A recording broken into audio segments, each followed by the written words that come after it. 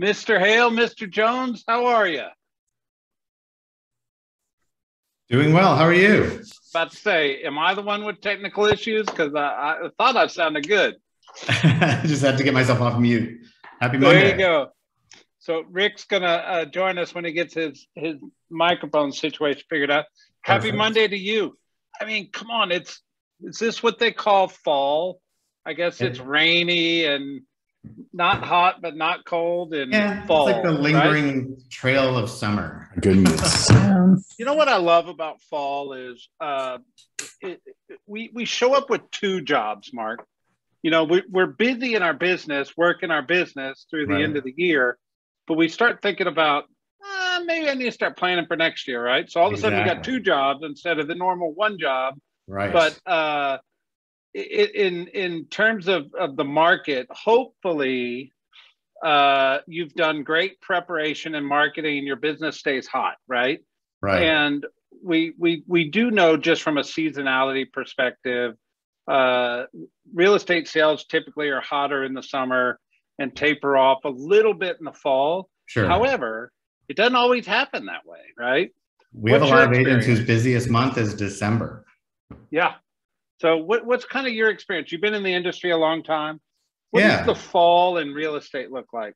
Yeah, so I think it is busy for most folks. If you've been doing the work all year long, you're going to continue to see the the fruits of that. You know, because whatever uh, someone does in May, June, July shows up in August, September, October. So if they're if they took the summer off, they're probably not going to see a lot of business, and they're having to ramp up right now to get right. business for the end of the year or first of the next year. If people have been being consistent and doing lead gen, whatever that means to them, um, consistently, then they're probably going to have a busy uh, last quarter of the year. Yeah, well, I mean, we talk about you know uh, Wednesday, Mark, is hundred days left in 2021 and yep. we're, we're 102 days. So 100 days is Wednesday. But we also talk about how October 1st is such a big day because it's 90 days from 2021 or 2022. Ooh, yes. And in business, everything you do today shows up 90 days later. Correct. So every the people that are having success now laid that groundwork back when everybody else was on vacation in the summer, right? right. It's it's all that work, right? Well, yeah, let's jump absolutely. in. Rick, are you with us? I think so. Can you hear me? We can hear you. All right. So let's jump in. So here's the numbers for the week. Um, there's the graph, but let's go the numbers first. So new listings, FMLS is our stores. Uh, last seven days was 1,297. We're holding that 1,300 listing number a week, which I think just goes to show that the market's optimistically staying pretty strong right now uh, on new inventory coming on the market. No? Absolutely. It's consistent. Now you look at the pendings, and we bounced a little bit on pendings, but 1,145 pendings is a little less than last week. But if you look at the weeks before, pretty good number holding there. So here we are sitting over halfway through the month of September, which I think in a lot of people's minds, uh, they expect the market to taper off in September, and it's not really tapering off, although some of the national media is, is saying that. We'll jump into some of the articles here in a little bit. Mm-hmm. Um, but look at the closings 1,859 closings. Now, I almost feel like some of that was supposed to happen the week before, and we're somewhere in the middle of all that because we had a low week the week before, but it's still a pretty hot volume of, of real estate transactions happening in Metro Atlanta. What would y'all add? Yeah, I mean, I think I think there's a little bit of a uh, you saw a little dip at the end of last week, and then a bump this past week, and the 15th fell on a um, weekend. So it seems like people either want to close on the 15th or the 31st for some reason, or the 30th. So um, it's kind of an old school mentality, but we still do it. So Mark, I think if we have one goal, closings we have one goal at industry updates. It's to dispel the myth that yes. you have to close property on the first and the 30th. You close any day of the week and don't close yes. on Monday mornings. Yes, there you go. That's the myth we're going to dispel. Rick, what would you add? Here's the graphs. I mean, there's just the reporting cycle of when people plug in and when it shows up on our graph could be seven days left or right anyway. And it just seems to me, I mean, looking at 30 day averages, we've been on a pretty balanced pace for quite some time, which should be inspiring. You know, what you don't want to see is dramatic swings left and right, which would indicate other outside forces. Right. Perfect. Well, uh, I want to show everybody something real quick. Um, we created a marketing piece that's going to be popped out on Instagram before the end of this call. So it's just a simple Instagram post said, here's those same stats we just went over. Uh, we're going to put it up on the Heart of Atlanta Instagram page. And you can share this to your stories, to your database, right? Whatever commentary, makes the most sense to you and personalize it, right? But here's the graphic already created. Uh, Pierce, our marketing director with the easy button, created this. So uh, just know that we're we're behind the scenes pumping value to you on marketing and content, so you can take this information and get it out there to the masses. Um, anything else you guys would add around those numbers? I would just say you want to create intrigue. So I would send the numbers and go, you know, the market continues to be robust and consistent. If you want to better understand how this might impact you and your goals with real estate, let's have a conversation. There you go. What would you add, Mark? Yeah, I mean, it's really just asking questions and engaging people, right? So it's more like, you know, here's what's happening in the market. You know, like Rick said, ask a question. If you want to learn how this is impacting you, reach out to me. Like, you know, how does this affect your plans for 2021? There you go. All right. So on the residential lease side, not a lot of data here that is really shocking. The lines are still holding pretty constant trend lines. Uh, and we've talked about that. And just know we also do a Northwest Georgia statistic. If you ever sell up in the three counties northwest of, of Cobb County, um, we do a Northwest Georgia stat just like this one. All right. So, Mark, you sent me a, a, a an article around Flyhomes wants to eliminate contingencies. Yeah. crazy? so What's this about? This is a brokerage that's basically doing what um, Homeward and other companies are doing, where they're providing funds to help people buy before they sell or a bridge loan to facilitate a transaction.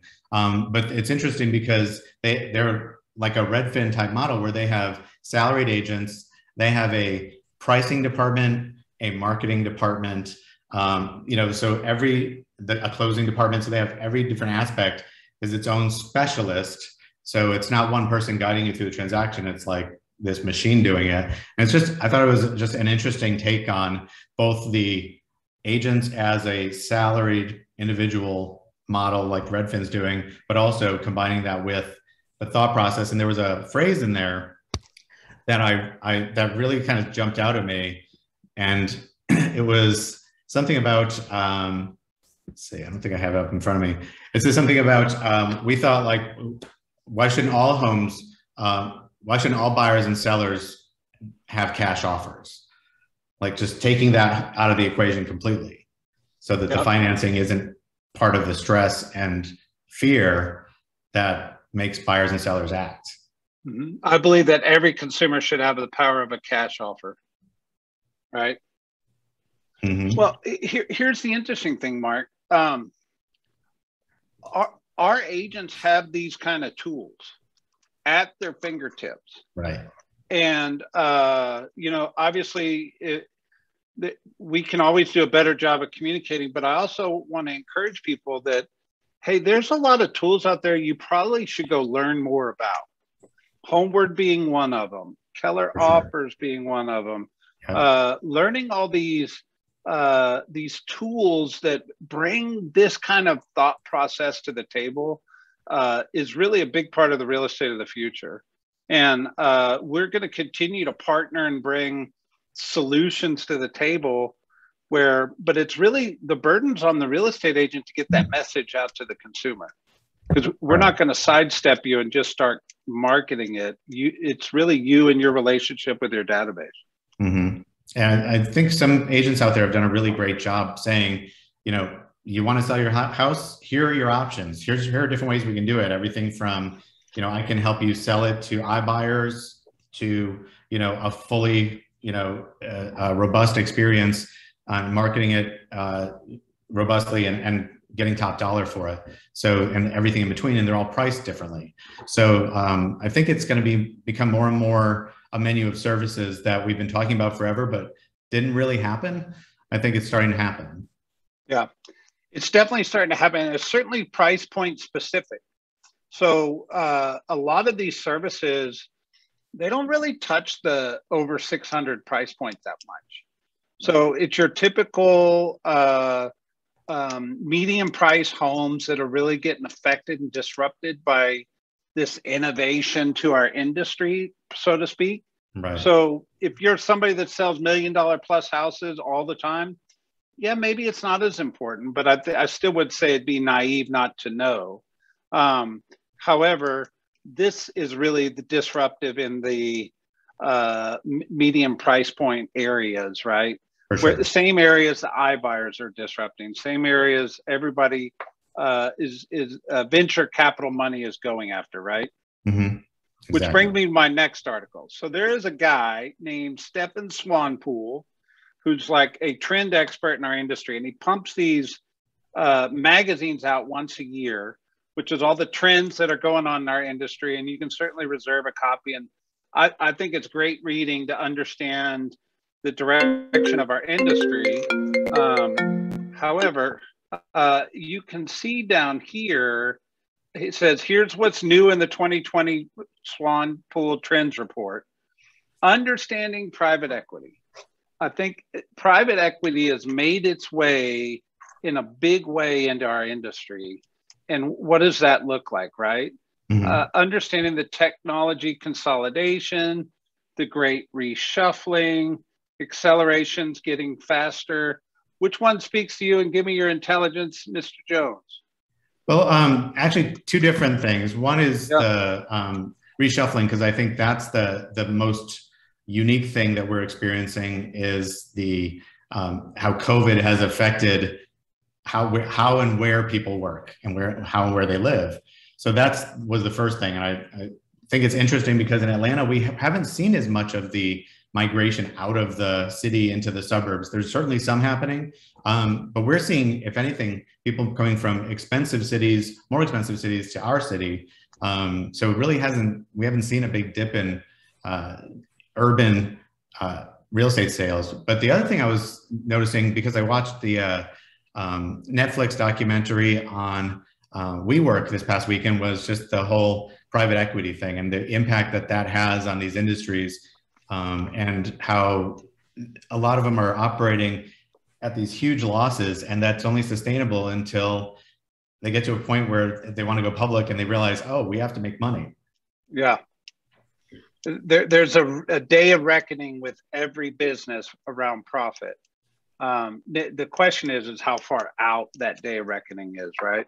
For sure. Rick which ones speak to you? What are you seeing I mean, they all do to some degree. They all yeah, do, but understanding, I think private equity. What's happening now, or you know, we've had such a we've had a ten year run where people who have money have made more money than they've ever made, and there's been success in just about every quadrant. And the uncertainty of the stock market's pushed people to diversify. And real estate's a real play. I mean, it's and it's not what it used to be, where you would just buy debt and carry it at a a predetermined you know interest rate hoping to either run it out or resell it yourself um, so I, I, think there's lots of money available and people want deals and they feel this level of comfort that's hedged in real estate so you know raising funds for multifamily i mean it's easy as picking up you know literally picking up your phone call 10 people with money and eight or nine of them will put money into a real estate fund. At least that's been my experience of late. So there's just a lot of capital until the market dips and fear creeps in. I think people are also willing to take lower rate of return. So, you know, five, 6%, you know, what used to be a, a, multiple you'd consider in real estate, you know, seven, eight, ten years ago. Today, you might compromise that also combined with the reality that interest rates are so low. So your money sitting stagnant does nothing. And people would rather, rather at least have it in, in play somewhere And the scary part is, to your point, Brett, that once these people collect all that capital, they've got to do something with it. They can't sit on it because they're they're not garnering great a great return in the bank either.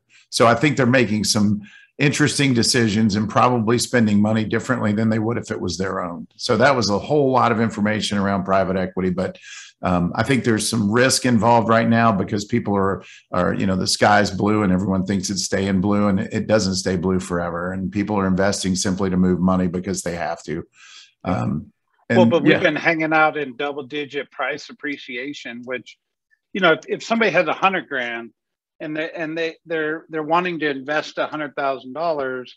I mean, an eight to ten percent return on their money is probably pretty good in most standards, right? you uh, you went into the stock market, eight percent would be considered pretty good on your money, right?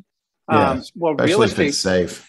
If it's safe, well, real estate perception wise, a little bit of a safe investment right now, and the returns are double digit, almost guaranteed over the last couple years. So of course the money's moving in, and real estate uh, by any stretch of the imagination, is the biggest wealth creator creation vehicle out there. Uh, and you think about like venture capital used to play in the dot com world, right? And they would go invest in these these people and try to strike it rich and and lots of people lost lots of money because they were betting on people now they're betting on real estate and real estate's a better bet right we know that because we're in the industry um, but you, I mean, you look at the uber wealthy of America, like them or not, the Warren Buffetts or the Donald Trump. I mean, they're all kind of tied in some aspect back to real estate, right?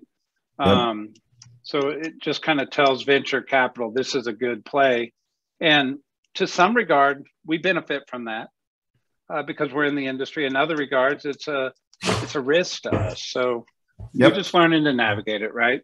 Well, and they're playing in the single family sector now more than ever. So, you know, for a long time it was commercial and then multifamily and even single family looks like a deal like to your point, 10% appreciation makes everybody look like a hero.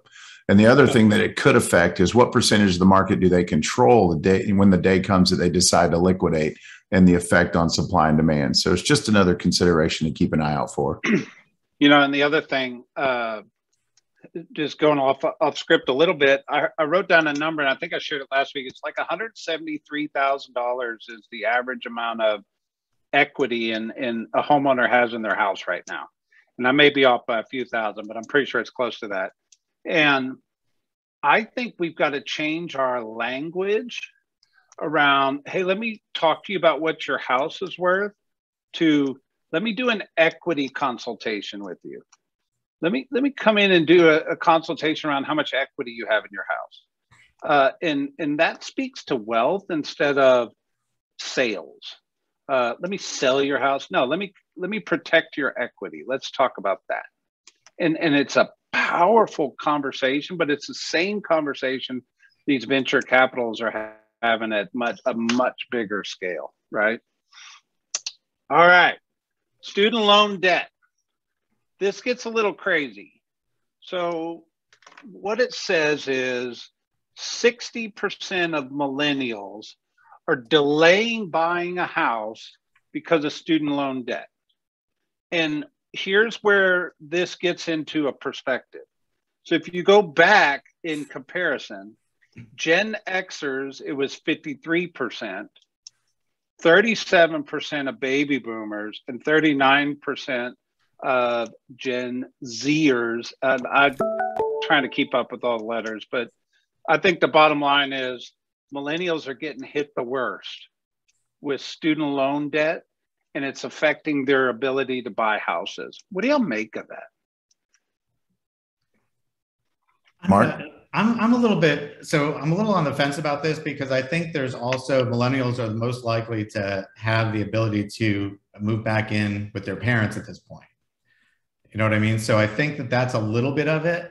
Um, you know, it happened right at the be- uh, the tail end of the recession last year. So I think some of this is um, is debt itself because it is student loan debt is crippling, but I think some of it is also um, for lack of a better word, cultural uh, among millennials. Sure. I mean, do you COVID mean by had a? COVID had a de- definitive impact on the percentage of of you know young kids and young adults that move back home, and and culturally, I think a lot, for a lot of us, it was actually a welcomed experience. And my guess is at some point it won't be as welcomed again. So there may be a push to get get their uh, young adults onto the road of self sufficiency and self you know dependency. Yeah, it'll be interesting to see where this is like five years from now.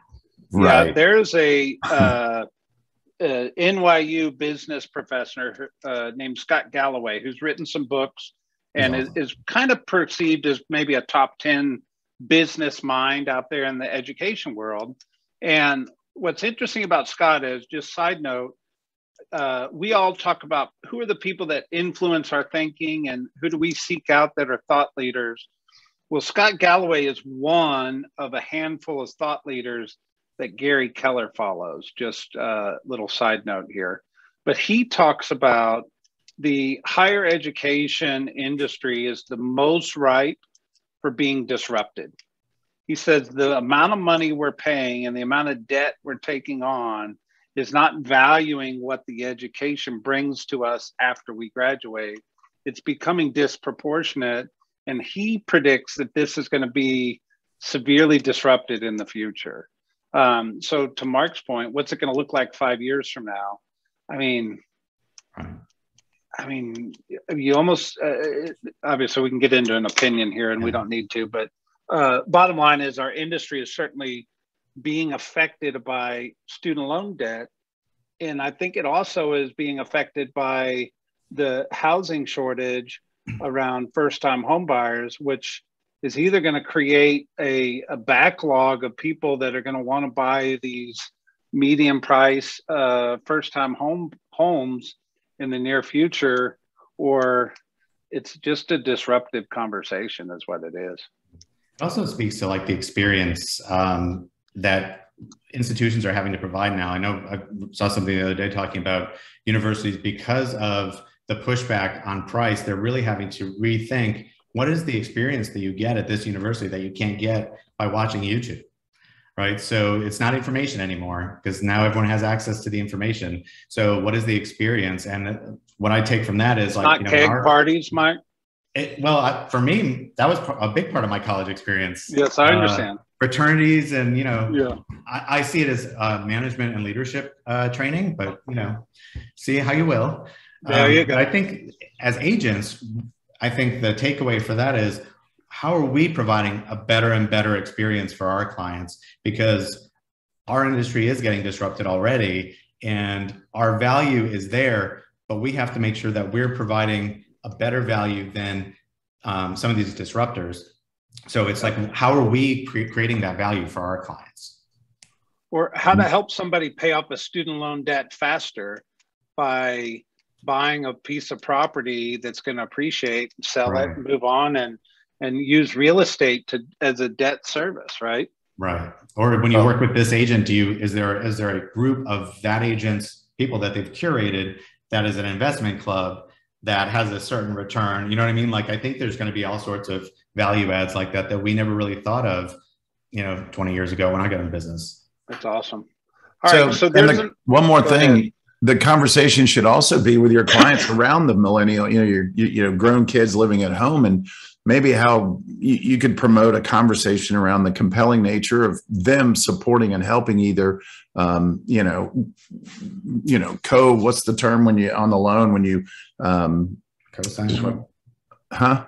like Cosign? Yeah, cosign or down payment assistance from a relative, or I mean, there's creative ways. Like, is it time to not just push your kids out of the nest, but help them start creating wealth? And, uh, and to Brett's point, developing a path that helps enable paying back those loans. And I still scratch my head around the cost of education, given the scalability and the capacity to do it online. So we'll we'll see where that goes. My son just mentioned he had to buy some books and um, needed funding, and they were as expensive as the hard. They were more expensive, frankly, than books back in the day, where you actually had a physical book. It's an e-book, and I'm like, "What happens when you're done?" He goes, "It just goes away," and I'm like, "You don't get to resell it." And you're like, I used to go looking for that the was, one. that was the best part. You'd take Oh. it back to the bookstore and Yeah. get money. And when you bought your book, buying used was the bomb because somebody's, you know, if you're smart, you get a book that's like well rehearsed and has cool notes. But but anyway, times are changing, and, and you would think scalability and technology benefits the pricing model, but it hasn't actually transcended that. And that's the fear in the real estate business is the the other side of it is still available that these disruptors have access to your clients differently than they ever have. Perfect. So real quick, this is a National Association of Realtors. They always put out reports and stuff and research. They're a big research firm. Um, and this is a profile on 2021, so it's it's current. And there's a little line in here where it talks about um, firms typically generated 30% of their sales volume from past client referrals, 30% from repeat business from past clients that's 60% of the business is coming from current or repeat customers uh, through a database based business. There's the stats, right? 10% is coming from the website.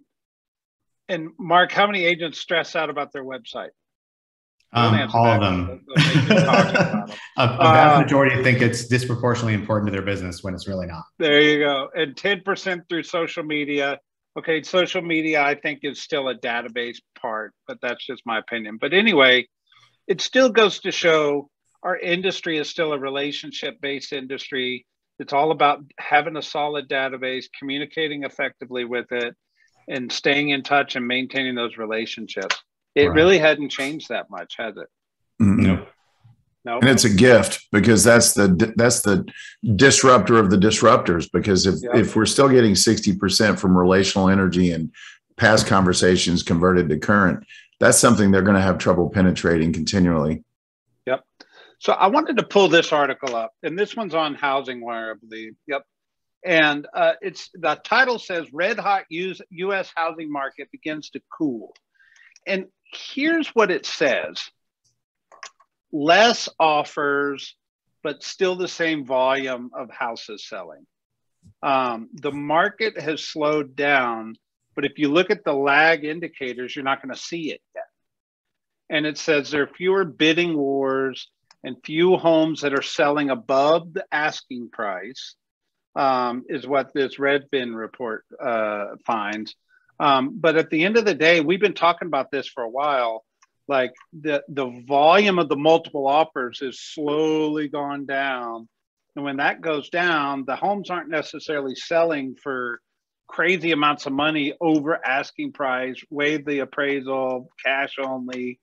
Um, and this is really where I think our industry update is, is important because this is what agents need to get into their head and into their consultations with their clients because you've got to have data to back it up because their friends are telling them they got 50K cash back in April and they want to know why they can't do it today.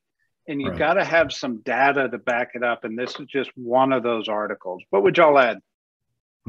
Well, uh, two takeaways for me. One is that uh, while it is slowing down, we as agents need to not be chicken little and think the sky's falling because um, it went from 50 point uh, down to 50.1% from 55% of homes uh, selling above asking price, right? So it's not like this, the bottom has fallen out. Oh my God, the bubbles burst, but it's slowing down. It's just, it's gradual. So like we Yeah. all need to take a deep breath and be like, okay, okay, that's cool. So that's one takeaway.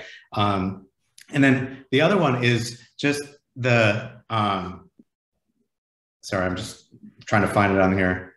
Oh. It, it's, it's, it's the constant education that we need to be doing. We need to be constantly telling people what's happening this week um, Yeah. because it's not only hyper local, but it's hyper current.